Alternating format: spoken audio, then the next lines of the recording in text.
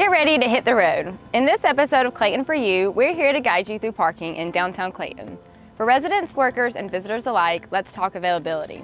First, we offer five town-owned public parking lots, which are free 24-7.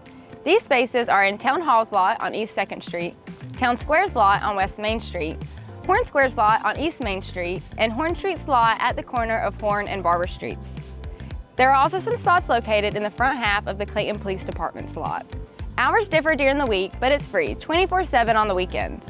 Second, we have created three parking lots through a public-private partnership, a direct result of your feedback thanks to the Mayor's Downtown Parking Task Force, which increased public parking spaces by more than 70%.